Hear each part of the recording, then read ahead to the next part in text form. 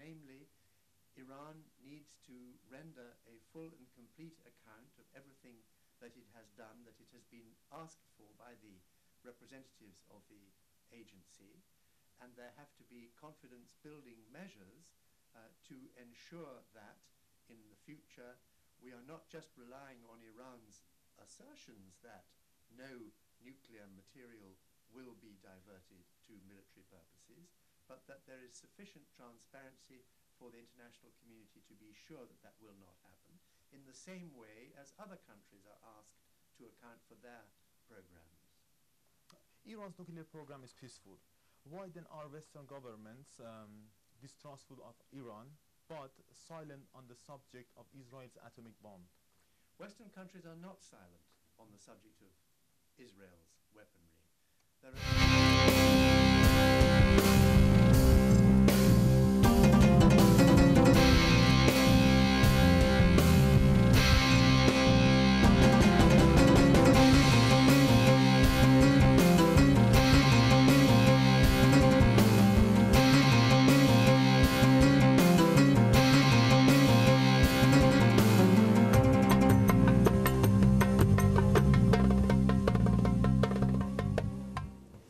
سوريا الوطن والوطن لا يموت ولن يموت.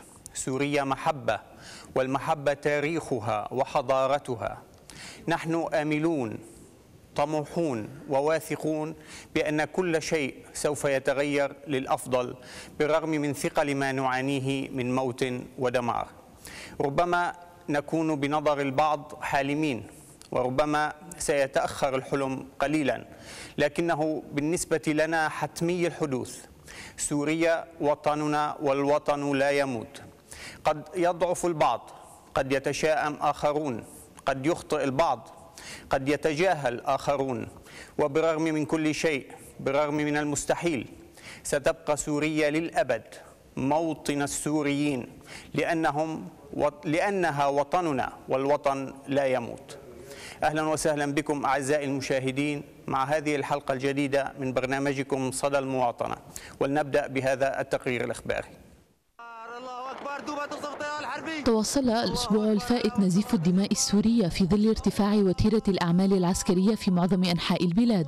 فلم يغب عن السوريين القصف الجوي والصاروخي إضافة إلى اشتباكات عنيفة بين الجيش ومسلحين معارضين أسفرت عن تغييب مئات السوريين باسم الوطن. ففي العاصمة دمشق سقطت قذيفتا هاون في حديقة ملعب مدينة تشرين الرياضية بمنطقة البرامكة ما أسفر عن وفاة أحد لاعبي فريق الوثب الرياضي وإصابة عدد من اللاعبين أثناء التدريب. كما أصابت قذيفة بناء سكنيا في حي شرقي التجارة دون ورود أنباء عن إصابات. هذا وقد شهد حي برزة اشتباكات عنيفة دارت بين معارضين مسلحين وعناصر من اللجان الشعبية الموالية للنظام التي حاولت اقتحام الحي. تخللها سقوط عدة قذائف هاون. في حين انفجرت عبوة ناسفة في ساحة العباسيين أدت إلى إصابة شخص بجروح وذلك مع تواصل القصف على أحياء جوبر والقابون ومخيمي اليرموك وفلسطين والتضامن والقدم والعسالي والحجر الأسود. وذلك بالتزامن مع وقوع اشتباكات بين الجيش ومسلحين معارضين يسيطرون عليها.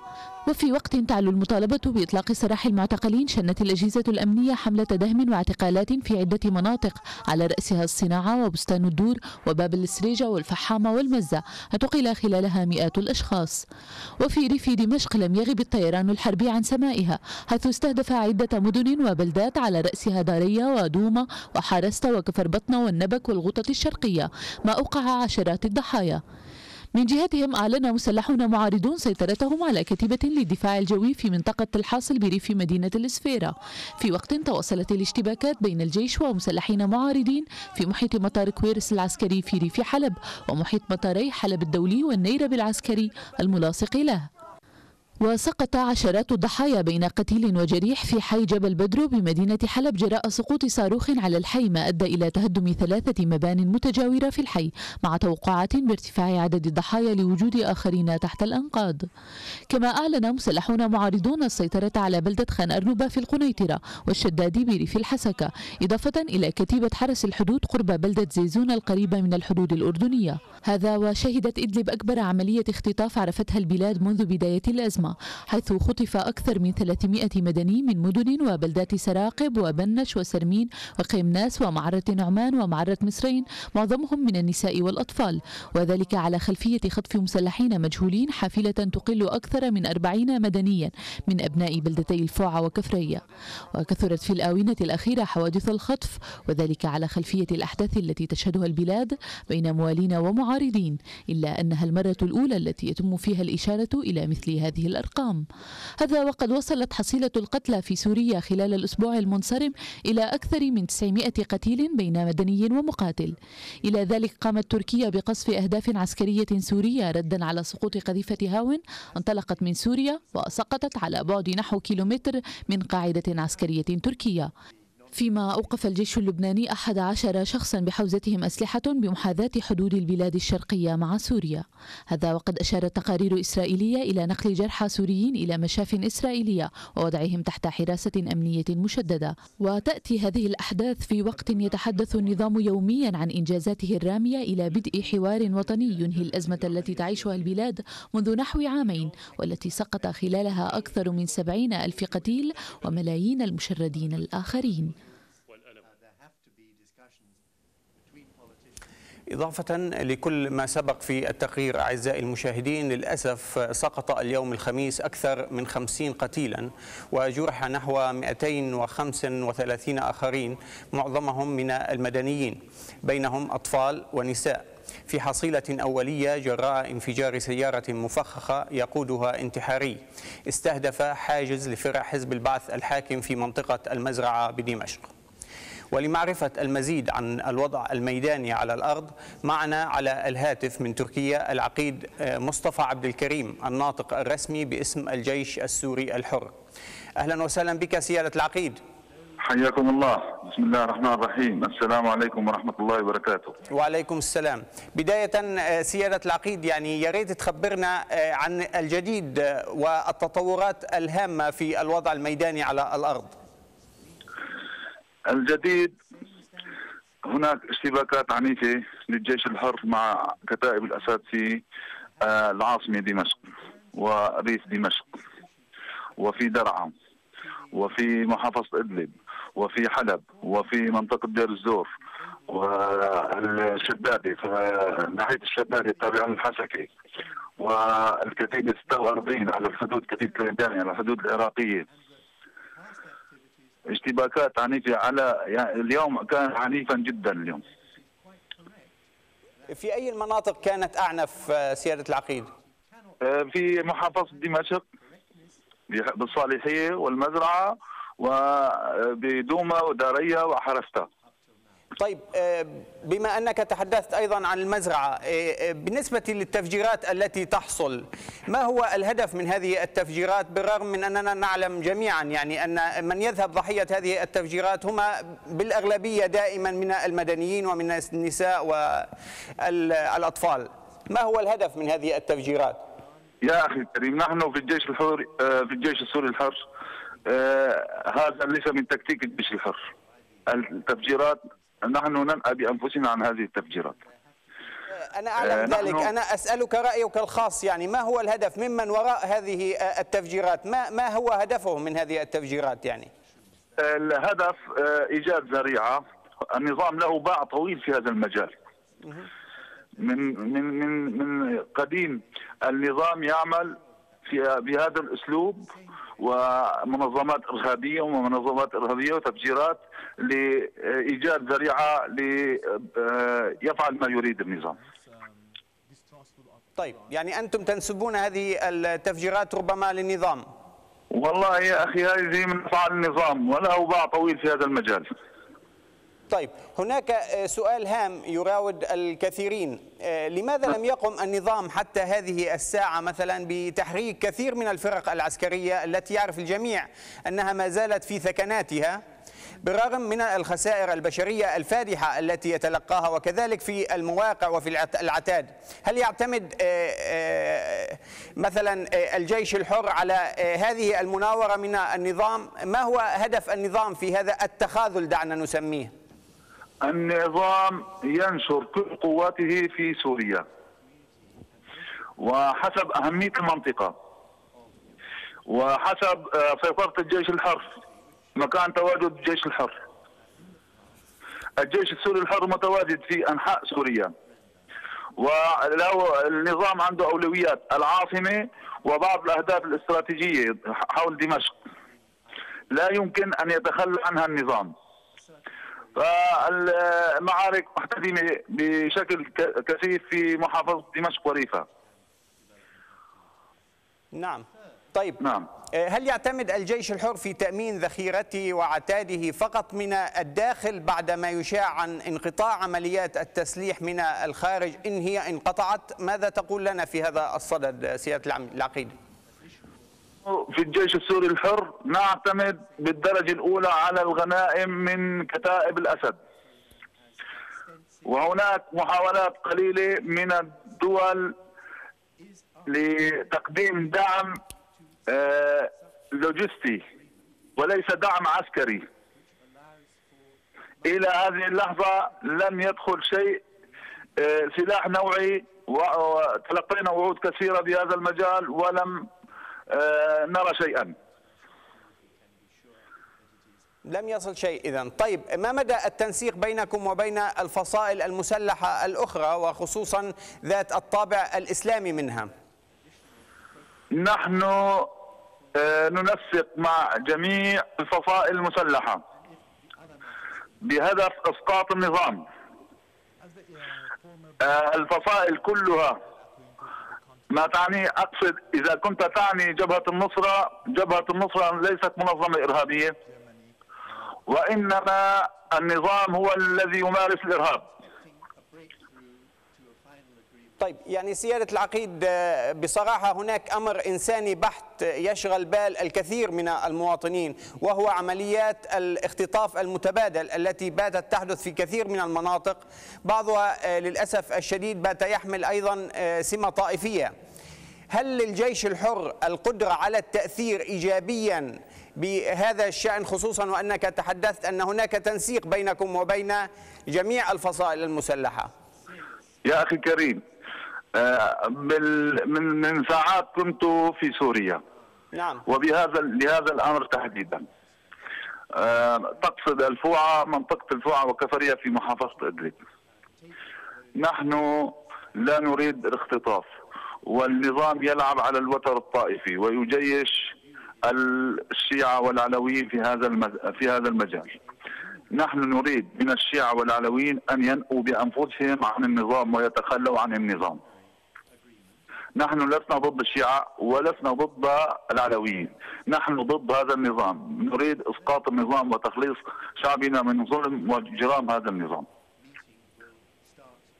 طيب سيادة العقيد ما هو رأي الجيش الحر في عملية التفاوض التي آه، طرحتها هيئة التنسيق منذ زمن بعيد ومن ثم, ومن ثم جددتها في آخر مؤتمر وكذلك الآن يتبناها الائتلاف؟ أنا أحب أن أذكر الإخوة في الائتلاف وفي المجلس الوطني أن الحل مع هذا النظام ليس حلا سياسيا إنما هو حل عسكري وثوري. هذا رأينا من البداية وإلى النهاية. لا يفيد النظام لا يفيد معه التحاور. النظام لا يفهم إلا لغة القتال والسلاح. إذا أنتم تعولون آه، بشكل أساسي على عملية الحسم العسكري مع هذا النظام. لا يمكن إسقاطه إلا بطريقة الحسم العسكري. ولن يسقط إلا بالقوة العسكرية. طيب ماذا لو مثلا توصل المجتمع الدولي عبر آه، مبادرة الإبراهيمي لحل ما يقضي آه، بالانتقال السلمي للسلطة؟ كيف سيكون موقفكم ساعتها؟ يا أخي الكريم النظام النظام والمجتمع الدولي يقف أقصد المجتمع الدولي يقف متفرجا علينا على السوريين كيف يقتلون وكيف يذبحون وكيف تدمر مدنهم ومنازلهم. والنظام لا يولي أي اهتمام لما يحدث في سوريا. المهم الاحتفاظ بالسلطة والبقاء في السلطه ويلعب على الوتر الطائفي. إيران أحد الشخصيات البارزة في النظام الإيراني. يقول أن سوريا هي المحافظة رقم 35 بالنسبة إلى إيران. والمجتمع الدولي يقف متفرجا. وحزب الله يتدخل. ويضرب بعض القرى الحدودية المتاخمة للبنان حسنا آه، سيادة العقيد مصطفى نشكر لك آه، هذه المشاركة. كنت معنا من الحدود السورية التركية. نشكر لك هذه المشاركة ثانية.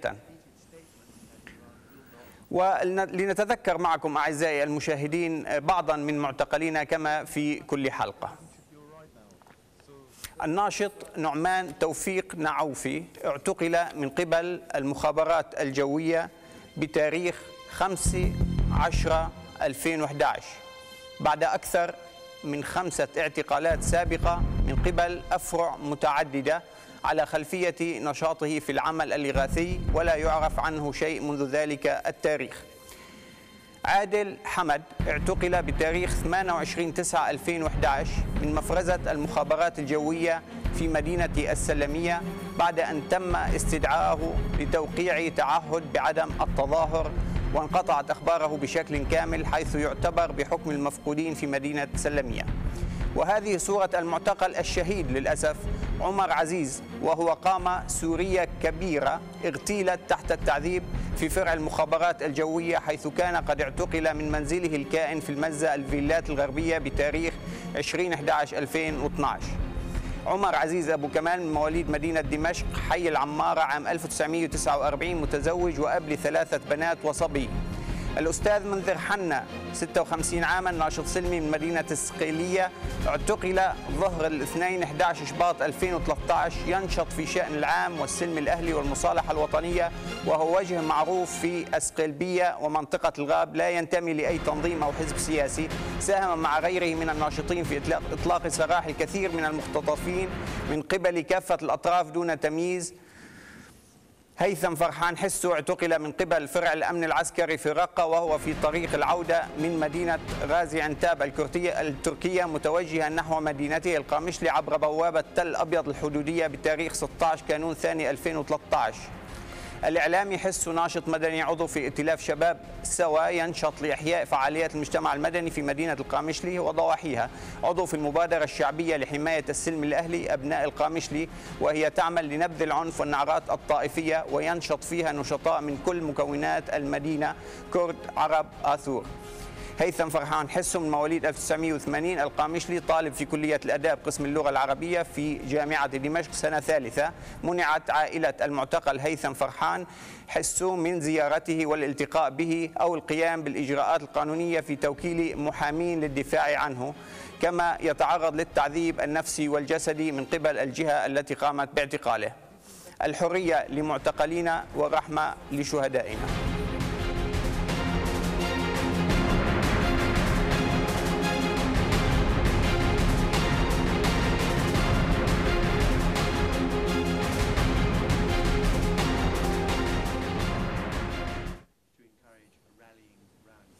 والآن أعزائي المشاهدين لنرى وإياكم هذا التقرير عن لاجئي الأردن وحملة اللجنة الطبية السورية التي ستكون موجهة إليهم في القريب العاجل. أطلقت اللجنة الطبية السورية التي تأخذ من باريس ودرعا مقرا لها حملة جديدة تحت عنوان الله محبة والمواطنة مشاركة وعطاء مساهمة منها في جهود الإغاثة المختلفة المبذولة لرفع المعاناة عن إخوتنا النازحين واللاجئين السوريين. وخصوصا أولئك المقيمون في المخيمات الأردنية. وفي هذا السياق يقوم ناشطو اللجنة عبر اتصالاتهم المختلفة ودراستهم لأوضاع اللاجئين في أماكن تواجدهم المختلفة بسبر أهم الاحتياجات الماسة التي تنقص اللاجئين من أجل تأمين المستطاع منها وبأسرع وقت ممكن.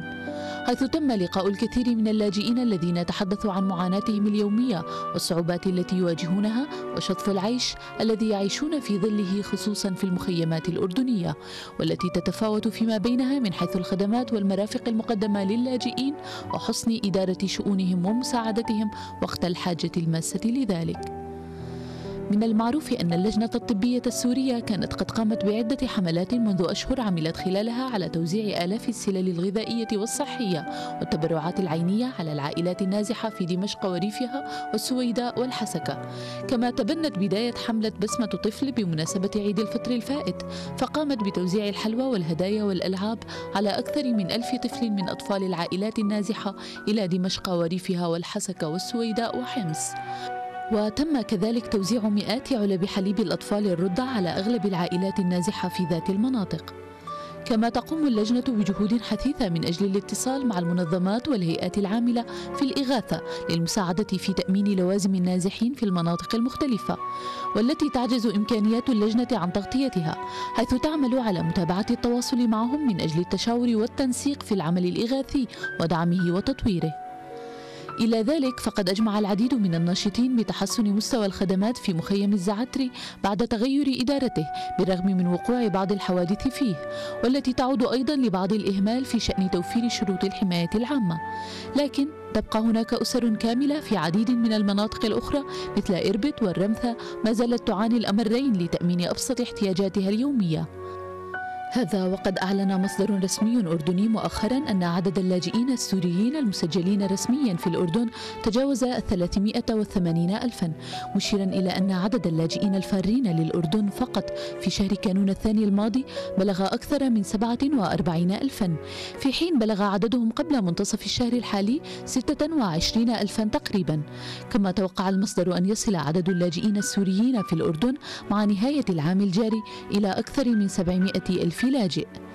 إلى ذلك قررت الحكومة الأردنية مؤخرا إنشاء مخيم جديد للاجئين السوريين يقع في منطقة مخيزن الغربية بمحافظة الزرقاء حيث سيمتد المخيم على مساحة قدرها سبعة آلاف دونم قابلة للتوسع لاحقا خصوصا أن مخيم الزعتري بات يستوعب حوالي 88 ألف لاجئ ويمكن له أن يصل إلى 110 آلاف لاجئ كأقصى حد استيعابي.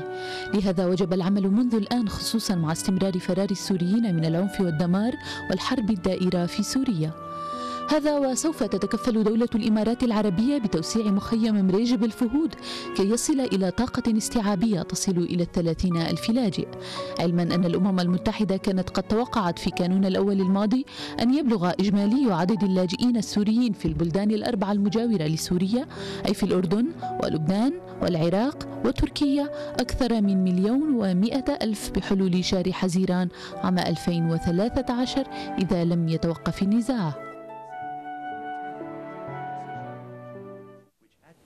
ولمعرفة المزيد عن وضع أهلنا اللاجئين في الأردن معنا على الهاتف من الأردن الناشط في شؤون الإغاثة وحقوق الإنسان الأستاذ حمودي مكاوي. أهلا وسهلا بك أستاذ حمودي.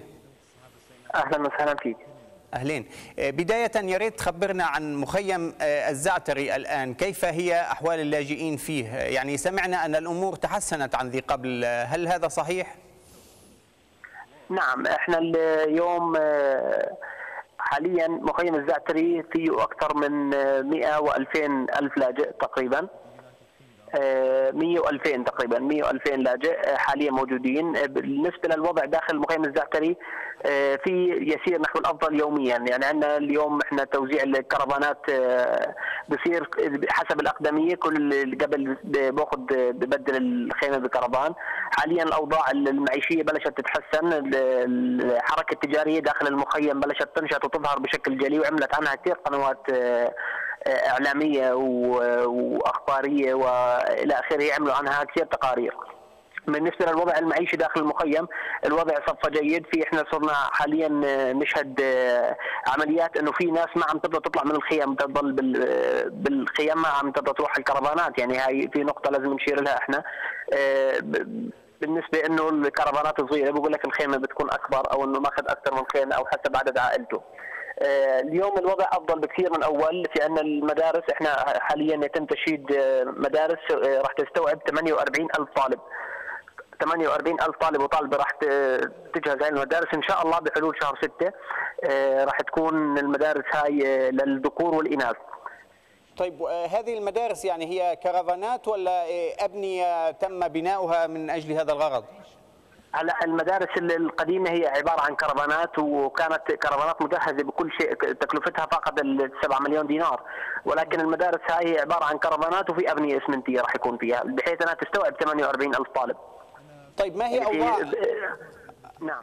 نعم. آه، ما هي أوضاع اللاجئين في آه، المدن والمخيمات الأخرى؟ نعم هلا إحنا بالنسبة لموضوع مخيم الزعتري يعني إحنا خصوصا من بعد آخر حادثه حادثة الثلج إذا تتذكرها آه، شدنا عمليات آه، مساعدات ومعونات وإلى آخره. إجت لمخيم الزعتري صدقا خففت ال- ال- المساعدات عن الناس اللي برا. يعني مخيم الزعتري كل المخيمات بالأردن لا الموجوده بالأردن اللي هي مخيم السايبر ومخيم هذا أخي الملك عبد الله. ومخيم الزعتري حاليا لا يتجاوز عدد اللاجئين فيها 115000 إحنا عندنا بالأردن ما يقارب 360 ألف 370 ألف لاجئ. هذول في منهم يعني أكثر من النص موجودين خارج المخيمات. وبالنسبة لموضوع الحملة الإعلامية اللي كانت موجهة على مخيم الزعتري جففت كل المصادر تبعت المساعدات اللي كانت تيجي للناس اللي برا. من هون إحنا صرنا في مساعدات داخل مخيم الزعتري بشكل مهول.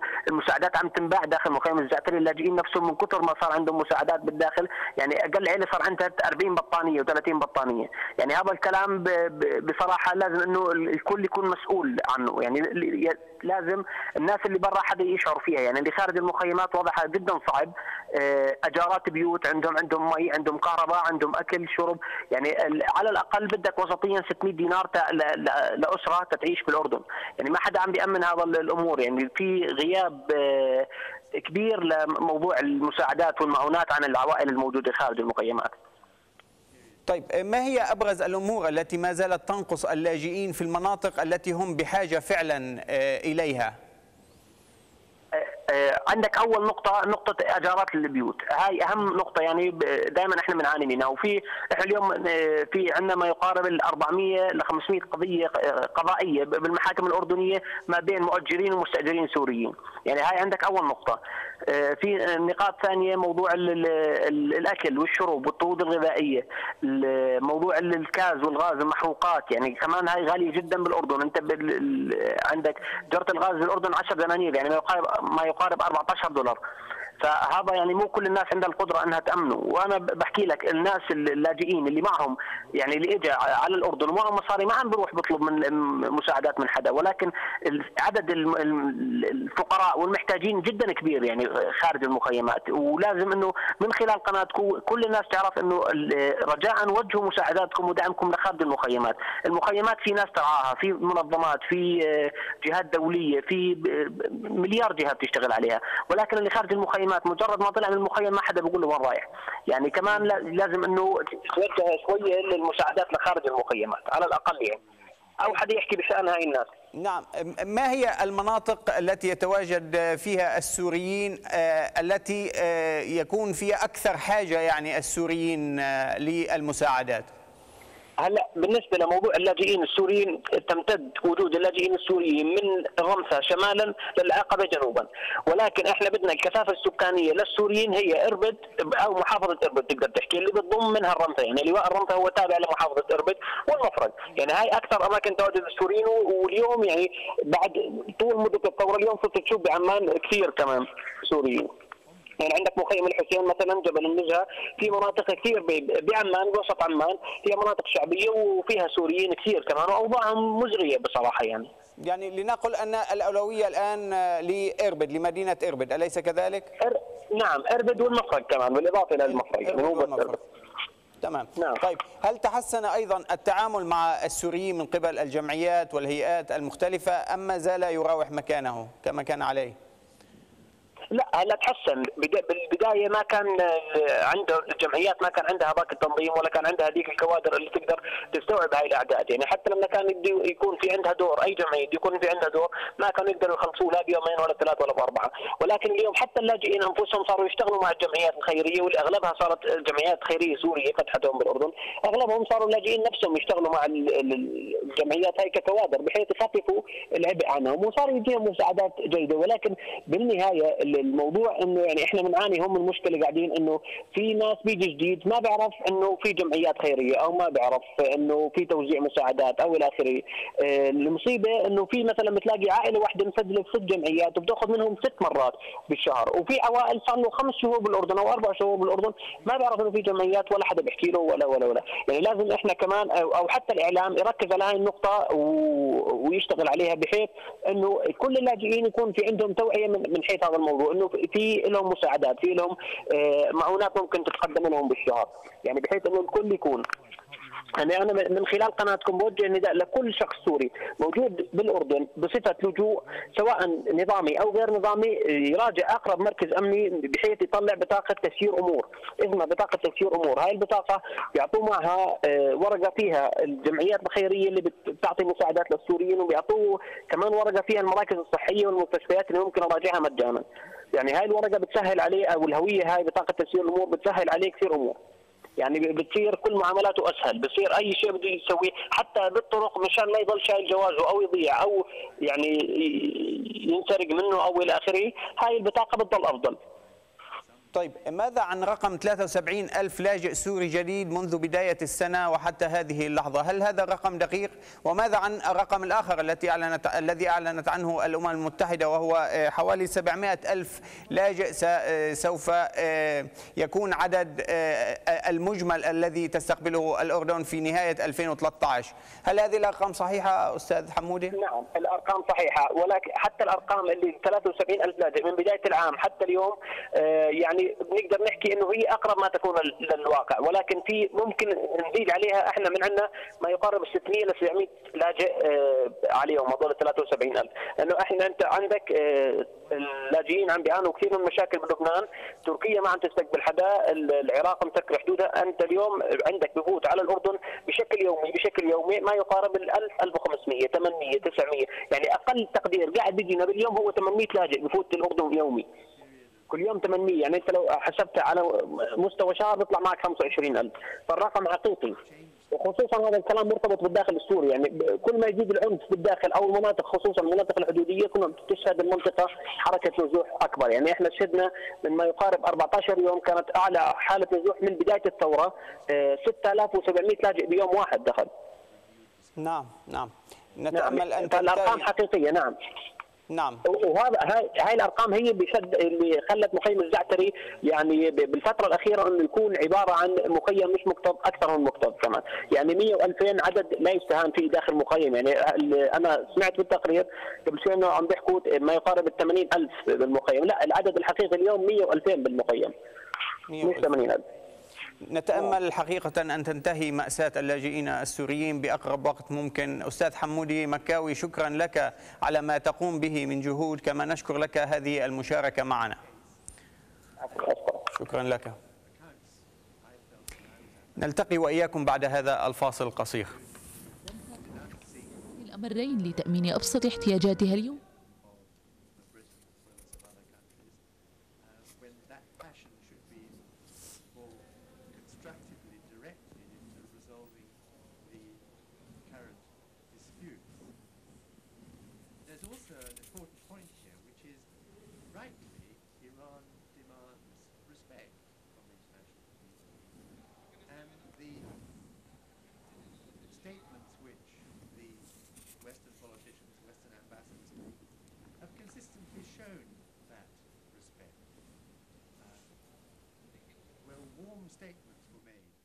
أو في منطقة مخيزن الغربية a better حيث سيمتد But subsequently, we found that there was no change in the language of Iranian leaders and politicians towards our country.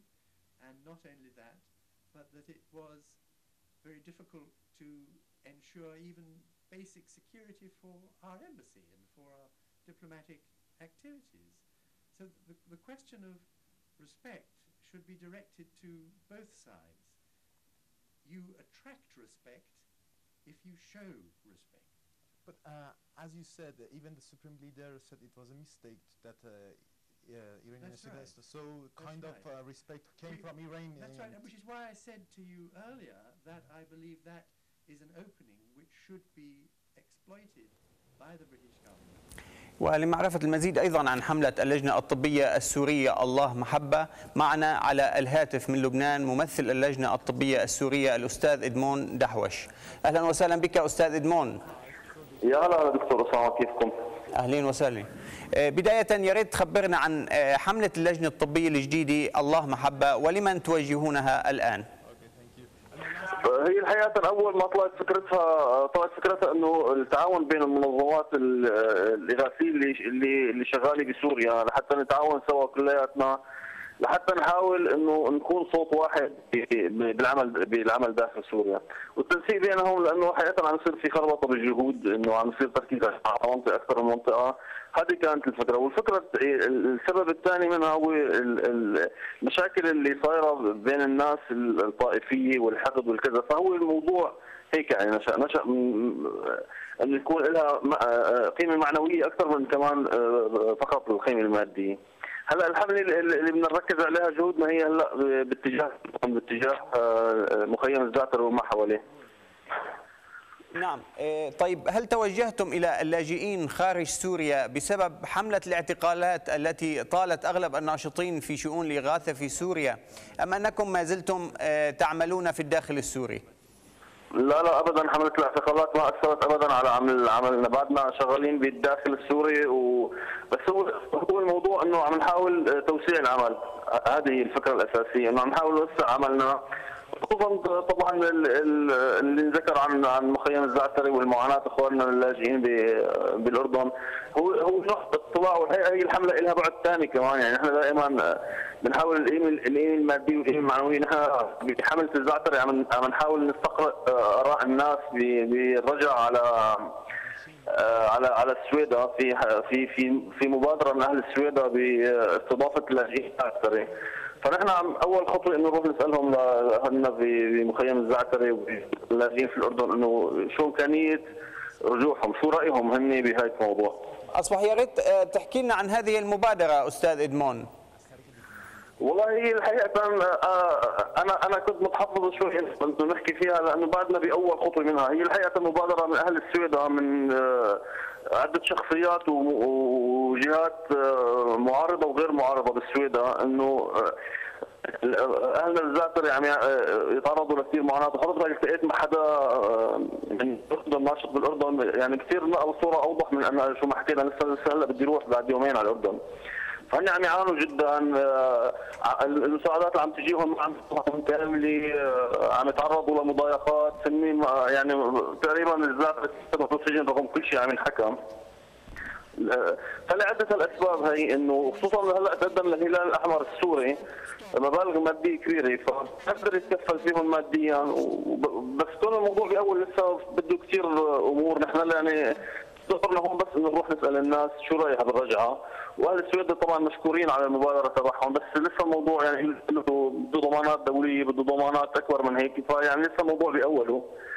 إن شاء الله يعني نتوفق فيه نعم آه، نحن للتو انتهينا من الحديث مع الأستاذ حمودي مكاوي وهو ناشط في الأردن في شؤون الإغاثة وقد آه، ذكر لنا أن مخيم الزعتري الآن أصبح أصبحت الخدمات به أفضل آه، من الأول وكانت هناك مدينة إربد مثلا في أولويات المدن الأردنية التي يتواجد بها كثير من السوريين الذين يعانون صعوبات مختلفة. آه، طيب أنتم هل تجدون صعوبات ما في التوجه إلى آه، لاجئي الأردن أم أنكم ما زلتم في طور التجربة؟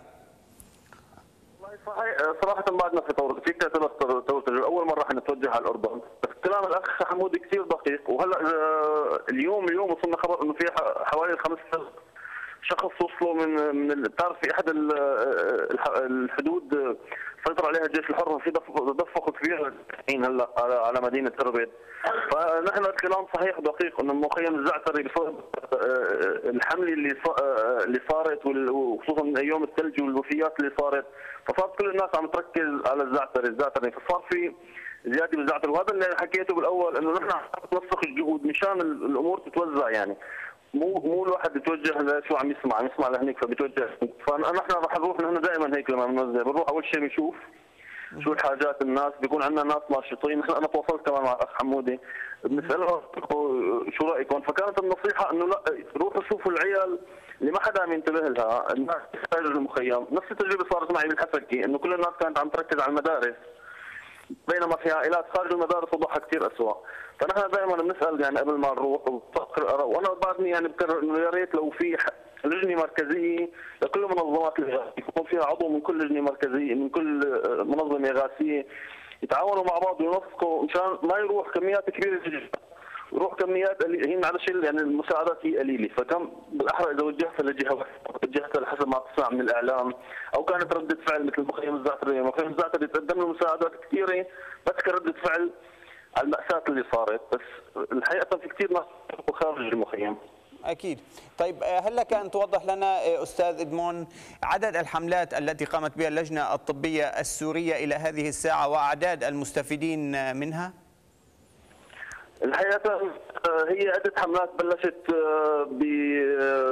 ببسم الطفل قبل فيه كمان حملة مشان مشان الغطاء وكساء للأطفال والعائلات والبطانيات وصار حملات للمناطق حسب كل منطقة. فينا نحكي تقريبا هلأ صرنا مقدمين لحوالي 6000 ل 7000 عائلة. بشكل بشكل تقريبي بس أحيانا تقدم لعائله مثلا اسم الطفل كانت للأطفال بس قدمنا حوالي ل 1000 طفل يعني. وهلا تقريبا حوالي 400 ل 500 عائله بالأردن. هذه الحمله اللي هلا بكرة بعد بكرة إن شاء الله رح نبلش فيها. أستاذ إدمون شكرا لكم في اللجنة الطبية السورية على ما تقومون به من جهود. كما نشكر لك حضورك معنا هذا المساء. كنت معنا من لبنان. شكرا شكرا. شكرا, شكرا, لجهودك. ولفقرة فكر وفن أعزائي المشاهدين اخترنا لكم اليوم هذه القصيدة بصوت ونظم الشاعر المرهف زاهد منلا بعنوان مقهور فلنستمع إليها سوية.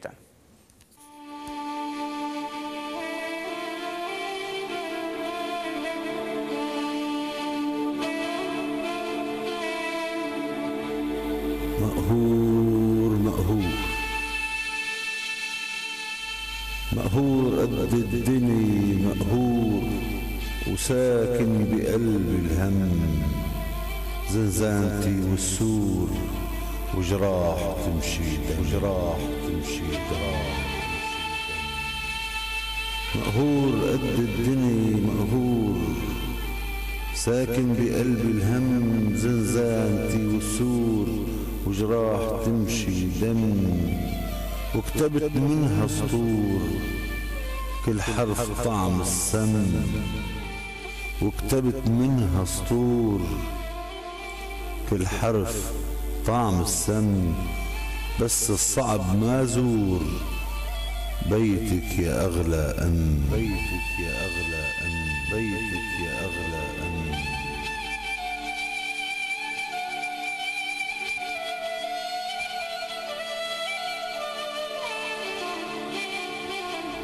وكتبت منها سطور كل حرف طعم السم بس الصعب ما زور. بيتك يا أغلى أم شعرك؟ شعرك عطر وزهور. شعرك عطر وزهور. رح موت بدي شم والبسمة طاقة نور والطل طلة حور. شعرك عطر وزهور. شعرك عطر وزهور. شعرك عطر وزهور رح موت بدي شم والبسمة طاقة نور والطل طلة حور ضمي قلب منذور. يسكن يسكن يسكن بزنزانة أسى يسجد صبح يركع مساء. يسكن بزنزانة أسى يسجد صبح يركع مسا ومن بين حلوين النساء. بتمني بس يضم وياخذ رضا هالأم وياخذ رضا هالأم. مقهور مقهور مقهور قد الدني مقهور وساكن بقلب الهم. زنزانتي والسور وجراح تمشي دم.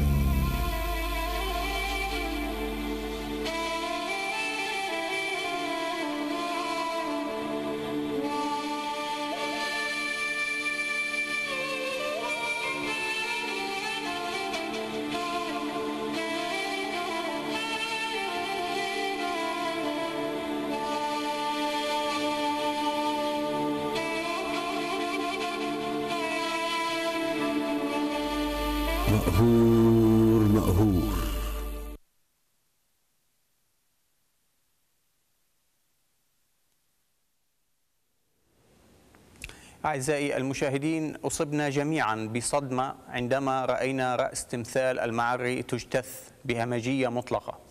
لكن ما عزانا حقيقة أنه من الحجر ويمكن تعويضه وصنع أفضل منه بالرغم من قيمته التاريخية والفنية. وعزاؤنا حقيقة هو خليط من أسى وغرابة لأننا بتنا نرى رؤوس البشر وأبناء جلدتنا تجتث أمام العدسات وأمام كاميرات التصوير بدون شفقة أو رحمة. فمن ينجو من النظام لا ينجو من غيره يتصرف على نهجه وعلى منواله. نحن ارتأينا أن نتذكر في خضم هذه المأساوية صانع التمثال الفنان الراحل فتحي محمد قباوة والذي عاش حياة قصيرة جدا ملؤها الكفاح والعصامية. وأبقى لنا بعضا من آثاره الرائعة. كان من بينها تمثال أبو العلاء المعري لنرى هذا الوثائقي سوية عن الفنان فتحي محمد قباوة. عندما كانت أنامله الفنية تحوم حول الحجر لتطوعه وتؤنسه وتحوله من بكم إلى ناطق يحاكي وجه الفيلسوف المعري ليعيد استحضاره بين أهله وناسه. عبر أنسنة الحجر لم يكن يدري الفنان والنحات المبدع فتحي محمد قباوة أن عقلا ظلاميا أحمقا سيأتي ليقطع هذا الرأس الرمز رمز لشيء لا يملكه وهو العقل والحكمة. فبأي وجه نقابلك أيها المعري؟ وأي عذر نقدمه لك أيها النحات المبدع فتحي محمد؟ لكن غباء الأحمق الأرعن فتح لنا باب الذاكرة على مصراعيها كي نستذكرك في دوامة الحرب ولنحكي عنك لأجيال قادمة. تريد أن تتذكر العباقرة وتمحو من تاريخها الظلاميين. ولد الفنان فتحي محمد قباوة عام 1917 في حي الشماعين في مدينة حلب وهو حي شعبي عريق شهد مربع طفولة مبدعين. انتشرت في جنبات الحي بعض الفواخير التي كانت تعنى بصناعة الأواني الفخارية. والتي شكلت المسرح الأول لعبث فناننا بمادة الطين وتشكيلها وأيقظت لديه الرغبة في النحت والتشكيل حيث كان يقضي الساعات الطوال يحدق في هذا المشهد الغريب ثم يأخذ بعض الطين محاولا أن يصنع منه دمى صغيرة يتسلى بها. هذا اللهو الطفولي الشغوف بالطين والصلصال تحول إلى إبداع صقله الألم والعمل المبكر. فقد توفي والده وهو في الأشهر الأولى من عمره ليربى يتيم الأب ولم ترضى له الدنيا بيتم واحد بل فجعته بيتم الأم وهو في سن الثانية عشرة لكن يبدو أن الألم هو موطن الإبداع وما كان من الشاب الصغير إلا أن يعمل كي ينفق على نفسه ودراسته فاختار مهنة حفر الخشب وبذلك تشكلت لديه الأدوات الأولى لفن النحت والحفر حيث أظهر براعة متميزة في ذلك. وسنحت له الفرصة في التعرف على المبادئ الأولية لفن الرسم والتصوير. وولد أول تمثال نحتي له في العشرينات من العمر أي عام 1936 في العام 1944 كان تكوين واستحضار شكل الفيلسوف الكبير أبي العلاء المعري هاجسة وبالفعل أنجز النحات الشاب تحفة فنية. وفي نفس العام فاز فناننا بجائزة المجمع العلمي في دمشق عن تمثاله المعري فسافر للدراسة في مصر بتوصية من الأديب المعروف طه حسين الذي انبهر بهذا التمثال. وهناك انتسب إلى فرع التصوير في مدرسة الفنون الجميلة العليا بالقاهرة. وعلى الرغم من فرحه بتحقيقه هدفه المنشود إلا أنه كان يعاني ظروفا مادية صعبة لذا اضطر إلى بيع بعض كتبه وأدواته الضرورية كي يستمر في دراسته. بعيد عودته من مصر توفي الزعيم سعد الله الجابري فاستدعته بلدية حلب لنحت تمثال لهذا المناضل. ولما ولد العمل ولأن أهل حلب يعرفون كيف يحتضنون مبدعيهم قرر الجابري أن يفيد النحات الشاب للدراسة في روما على نفقته وبذلك سافر فتحي محمد إلى إيطاليا محطته الخارجية الثانية بعد مصر. في روما أنجز فتحي محمد تمثال المفكرة بإشراف رئيس قسم النحت الأستاذ غويريزي الذي استحوذ على إعجابه الشديد. وفي مشروع التخرج صرف النحات الحلبي جل وقته واهتمامه لتقديم مشروعه في عمل تمثال يافع يظهر فتوته وخصائصه الجسدية والروحية فاستحق العلامة التامة ونال شهادة الدبلوم بدرجة شرف. تابع فتحي محمد دراسته في روما. وانتسب إلى مدرسة فن الميداليات كما انتسب إلى الأكاديمية ليدرس في فرع التصوير الزيتي عام 1952 أنتج فتحي عددا من الأعمال النحتية. كان أبرزها تمثالا الموجة والخريف وشارك في عدة معارض ومهرجانات لخريجي الأكاديميات الفنية في إيطاليا. عاد فتحي بعد انتهاء دراسته إلى حلب عام 1954 ليعمل في بلديتها خبيرا فنيا. ثم أوفد إلى دمشق لينجز تمثال عدنان المالكي الشهير ولكن يبدو أن الموت يتربص بالمبدعين وأصحاب العقول النيرة.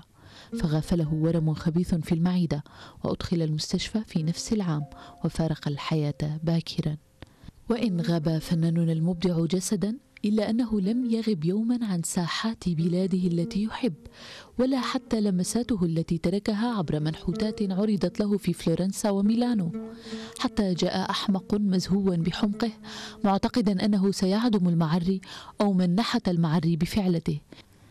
إلا أنه لم يعرف أن فعلته هذه كانت مصدر يقظة فضحت كل ادعاءات الظلاميين ودفعتنا بعد وضوح الرؤية إلى البحث عن مخرج كما خرج الفيلسوف المعري إلى الكون على الرغم من أنه كان رهين محبسين. وقد صرنا كاليوم كما أنت أيها المعري مرهونين كشعب لمحبسين في هذه الحرب الطاحنة. محبس الحمق ومحبس الطغيان.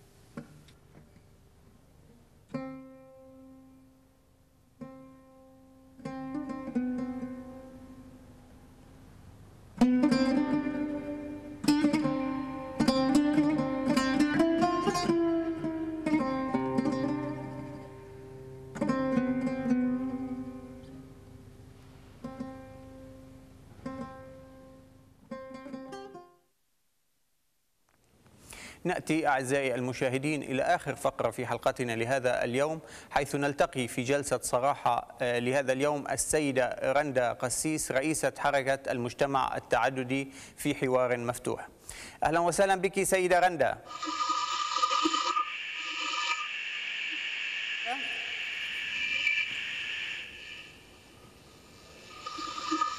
سيدة رندا هل تسمعينني؟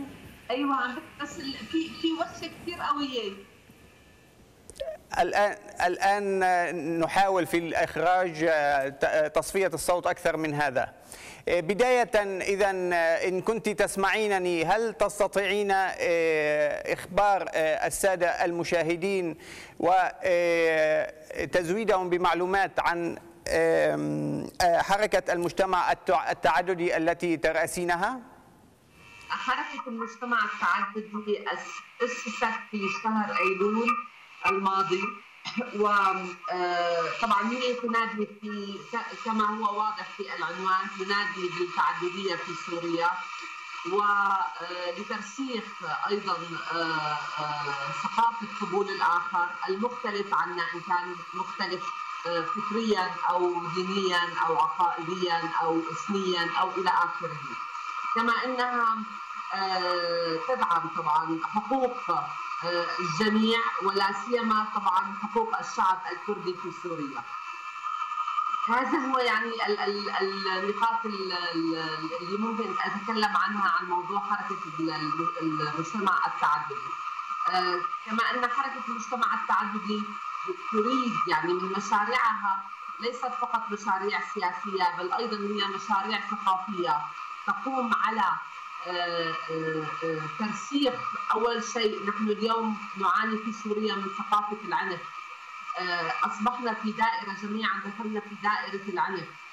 فأول شيء عليها أيضا هو ترسيخ ثقافة السلم أو أو الخروج من هذه الدائرة من دائرة العنف من أجل آه، آه، تحقيق مجتمع مدني في سوريا. ممولون سيدة رندا يعني أنتم ممولون من شركات وشخصيات في أوروبا وأعلنتم أيضا أنكم لا تعارضون حتى تمويل الدول ألا تخشون بهذا الشيء أن تفقدوا قليلا من استقلاليتكم؟ لا لأن طبعا يعني نعتقد تماما أن المصالح المشتركة المبنية على اسس واضحة بين الأطراف هي الأساس في التعامل، يعني نحن ما دمنا لا يمكن أن نسمح بأي تدخل، بأي تدخل. أنا عندما أقول تدخل تدخل يعني بالنسبة إلى كل ما يخص المجتمع السوري، تدخل من الخارج أو إملاء ال ال إملاء أي شيء عليه، نحن طبعا نرفض هذا الشيء، لكن نعلم أيضا إن هؤلاء الذين يدعموننا أو حتى إن كان هناك دول في المستقبل يمكنها أن تدعمنا. يمكن أيضا أن نبني هذا الشيء أن نخلق. يعني أنا المفروض أعتقد علينا اليوم أن نخلق مصالح مشتركة بيننا وبين الدول الأخرى.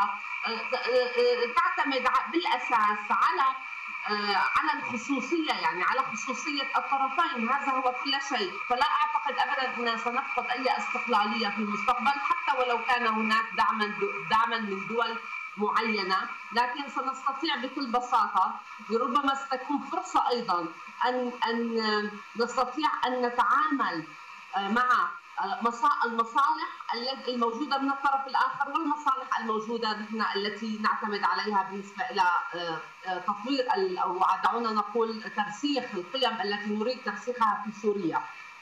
طيب عمليا أنتم تنظيم حديث العهد. ما الذي تقومون به عمليا في مسألة تطوير الوعي الديمقراطي وفيما يتعلق بفهم الحرية والعدل والمواطنة؟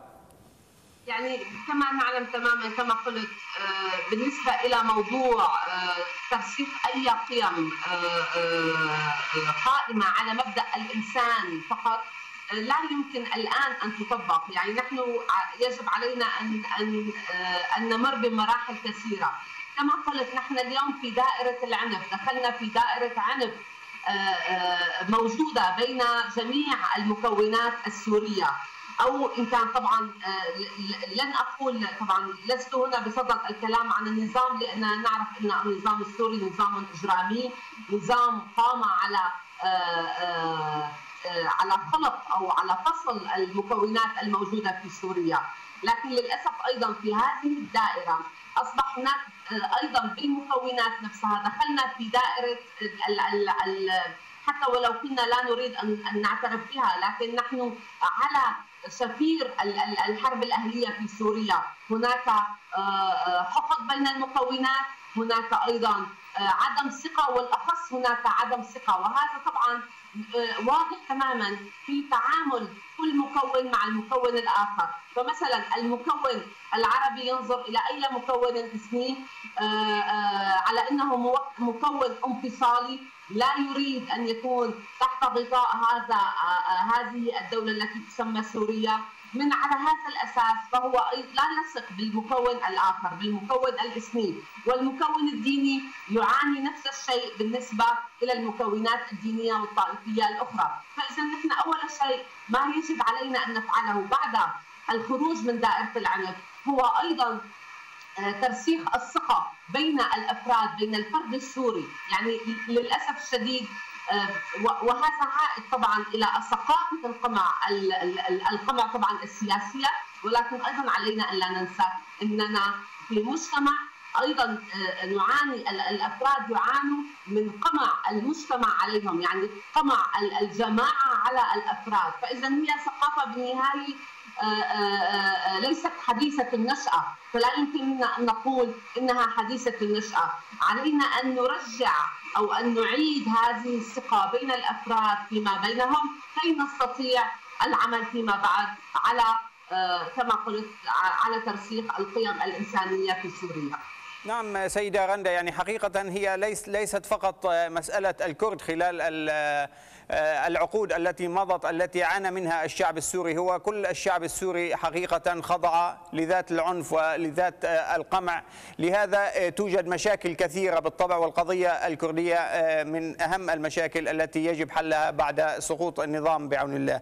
يعني طيب أنتم أيدتم وثيقتي القاهرة وثيقة العهد الوطني وملامح المرحلة الانتقالية في سوريا. لكن آه، هل لكم مآخذ على هاتين الوثيقتين بما أنكم آه، تؤيدون كذلك أو تتبنون إعلان حقوق الإنسان العالمي بحذافيره؟ لا طبعا آه، يعني أيضا يجب علينا أن نعلم أن هناك معطيات جديدة وبما أننا نحن أمام معطيات جديدة فاذا نحن علينا أيضا أن نتبنى تغيرات جديدة يعني طبعا لا,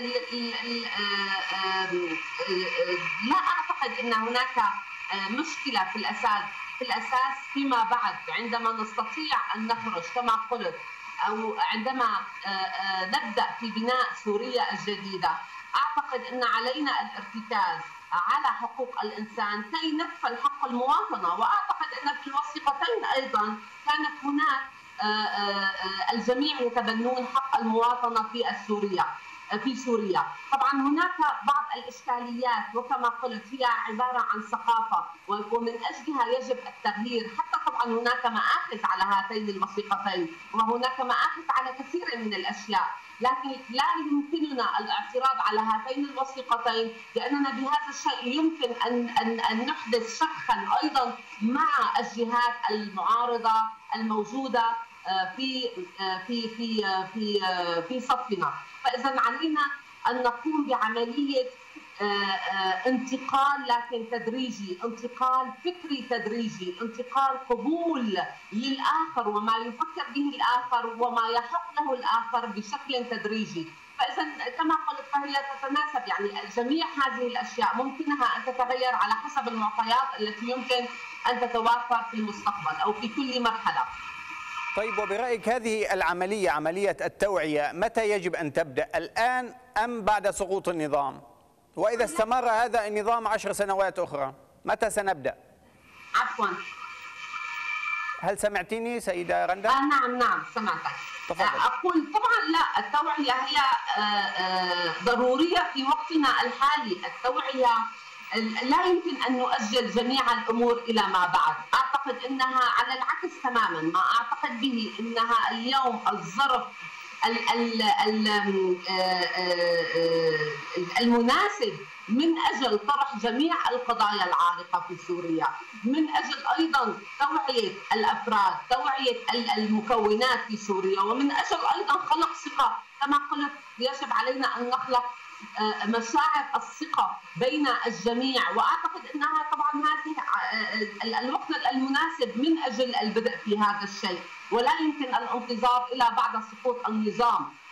طيب آه، سيدة رندا يعني أنتم تبنيتم مسألة الدفاع عن النفس أو لنقل أيضا تبنيتم مسألة النضال المسلح من أجل إسقاط النظام شريطة أن يتوحد العسكريون فيما بينهم طيب هذا الأمر لم يتحقق وباعتقادي وباعتقاد الجميع ربما هناك شك كبير في أن يتحقق هذا الشيء هل ما زلتم آه، تصرون على هذا المبدأ؟ طبعا كما قلت نحن نتغير مع آه، آه، مع المعطيات الموجودة على الساحة. معنى هذا الكلام هذا عندما أقرينا في هذا الشيء كان هذا في شهر أيلول وكنا ما زلنا نعتقد أن هناك إمكانية لتوحيد الصفوف وكان كنا ما زلنا نعتقد أن أيضا أن يمكننا أو يمكن يمكن للجميع هيكلة هذا الجيش الحر.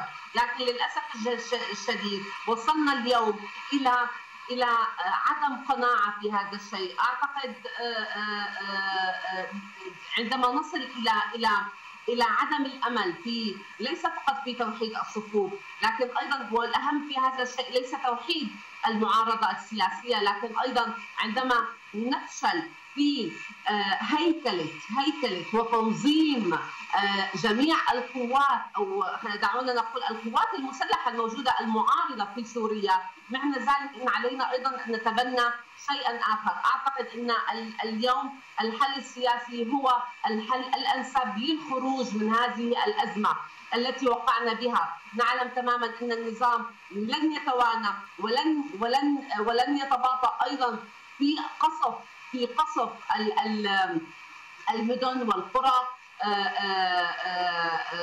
في حال طبعا تم تمت أخذ هذه المناطق من المعارضة المسلحة، فاذا ما علينا اليوم تبنيه هو فقط أول شيء هو الدفاع الدفاع عن المدنيين في سوريا الذين يقعون وما زالوا يقعون ضحايا هذه ضحايا هذا العنف. إذا استطعنا أن نقلل على الأقل أن نقلل نقلل الضحايا في سوريا فمعنى ذلك إننا على الطريق الصحيح أعتقد أن الأولوية هو وقف أو تقليل من حدة العنف الموجودة في سوريا اليوم، أعتقد هذه هي الأولوية التي يجب أن أن أن نعمل عليها الآن وفي هذه المرحلة. لكن سيدة رندا ألا تجدين معي مثلا أن إيه، مسألة أو شعار الدفاع عن النفس سمح لكثير من التنظيمات وكثير من الجماعات المسلحة إيه، وخصوصا من الخارج. أتى كثير منها أيضا إيه، من الخارج. وبات الأمر الآن على ما أظن خارج السيطرة. يعني ما هو مستقبل سوريا إن هي ذهبت بهذا النفق؟ للأسف إننا إن سوريا آه، إن سوريا هي في هذا النفق، نحن علينا أن نجد مخارج من أجل إخراجها من هذا النفق، نعم أنا معك إن المشكلة المشكلة كنا بين بين آه، آه، بين حدين، الحد أول شيء لا يمكن أن لا نعترف بحق الدفاع عن النفس وخصوصا كما قلت تحت تحت القنابل وتحت كميه القتل الممارسة على الشعب السوري كان لا يمكن لأي منا أن لا يدافع عن هذا الشيء، لكن للأسف الشديد إننا وقعنا أيضا في مطبات أخرى وأصبح هناك أيضا جماعات نحن آه، آه، لا تتبنى يعني جماعات لا تتبنى حقوق الإنسان في سوريا هي التي تناضل اليوم من أجل إسقاط هذا النظام، فاذا يعني أصبح هناك آه، لا توجد هوية لهذه لا توجد هوية واحدة لهذه الجماعات. آه، وهذه هي المشكلة الأعظم. لهذا قلت أننا اليوم على العكس تماما. أعتقد أن علينا المطالبة آه، على الأقل آه، بعدم التسبيح إلى الطرفين. طبعا طرف الطرف السوري طرف النظام السوري وأيضا الطرف المعارض. علينا أن نحاول إيجاد مخارج من أجل إيقاف هذا العنف إيقاف هذا القتال إيقاف والدفاع عن آه، عن المواطن السوري عن هذا المدني الذي يسقط ضحية هذا العنف. نعم طيب آه، أنت آه، كنت عضوة سابقة في المجلس الوطني هل لك أن تخبرينا عن هذه التجربة السابقة لأنها طبعا لأنك فيما بعد انسحبت من المجلس الوطني وأسست حركة المجتمع التعددي هل لك أن تخبرينا شيئا ما عن هذه التجربة؟ طبعا آه، آه، دخولي في المجلس الوطني كان آه، حتى ولو كنت يعني وما زلت بصراحة ما زلت إلى الآن لا أؤمن بما يقولون بما يدعوه الإسلاميون بشكل عام. لكن وخصوصا الذي يريد أن يطبق أن يطبق عقيدته ويجبر الآخر على ممارسة هذه العقيدة. فإذا لم اؤمن بلحظه واحدة بهذا التغير لدى الجماعات الإسلامية، لكنني أحببت أن أدخل هذا المجلس كي أجرب أيضا وكي أعطي إلى الآخر فرصة إن كان صحيح هذا الكلام. يعني أنا أعطيه فرصة في في في تطبيق ما نقوله. لكن للأسف الشديد رأيت أن المجلس الوطني كان على العكس تماما. هناك كان آه، آه، جماعة محددة هي التي آه، التي تدفع أو دعونا نقول هي التي تتبنى القرارات من دون من دون سؤال الآخرين عن هذه القرارات أو مشاركتهم في هذه القرارات، يعني نحن دخلنا أيضا في المجلس الوطني دخل أيضا في تكرار ما يكرره النظام، يعني عدم مشاركة الآخرين في اتخاذ القرار وهذه هي المشكلة في حد ذاتها. خروجي أنا لم انسحب من المجلس الوطني لكنني في على التلفزيون الفرنسي صرحت صرحت بأن هناك هيمنة للإسلاميين في المجلس الوطني وهناك أيضا في تزايد تزايد للجماعات المسلحة المتطرفة في سوريا هناك تزايد على الأرض. ومن هنا تم إقصائي من المجلس الوطني بعد تصريحاتي فاذا وهذا كان يعني كان الدليل الذي آه آه الذي يثبت اقصاء آه ممارستهم الإقصاء حق أو بالأصح عدم إعطاء حق المشاركة أو حق أيضا الادلاء بالرأي من قبل هذه الجماعات الإسلامية. طيب سيدة رندا تبقى من الوقت خمسة دقائق وتبقى لدي سؤالين. أنت وتنظيمكم طبعا شاركتم في مؤتمر جنيف للمعارضة السورية. هل لك أن تخبرينا عن انطباعاتك عن هذا المؤتمر؟ وما هي علاقة المبادرة التي قام بها الشيخ معاذ الخطيب بعدما صدر عن مؤتمر جنيف من بيان أو من إعلان ختامي لأن مسألة التفاوض طبعا كانت سابقة لمؤتمر جنيف ومن ثم تبناها الشيخ معاذ الخطيب. تفضلي. صحيح. مؤتمر جنيف كان هو محاولة أيضا. محاولة من أجل إيجاد مخرج كما قلت. اجتمعت هناك القوى التي تؤمن بسلمية الانتفاضة سلمية الحراك الثوري. منها كان تيار بناء الدولة منها كان الائتلاف العلماني لكن ائتلاف آخر لأننا لدينا ائتلافين في سوريا. لكن كان هناك معارضين جاءوا من داخل السوري جاءوا إلى مؤتمر جنيف مع طبعا هيئة التنسيق وزائد حركة المجتمع التعددي وغيرهم من الحركات أو التيارات السياسية. الموضوع أننا كان هناك على الأقل نستطيع أن نقول ان إن نظرتنا كانت موحدة في شيء واحد. يعني الإيمان إن هذا إن التسبيح أو تسبيح ما نقول عنه تسبيح هذا الحراك الثوري لن يفيد سوريا بشيء بل على العكس تماما سيزيدها دمارا سيزيدها تقريبا سيزيد مسخ هوية المواطن السوري. يعني لن يعود هناك أي هوية وطنية إذا استمرت هذه الحالة. من أجل هذا اجتمعنا في جنيف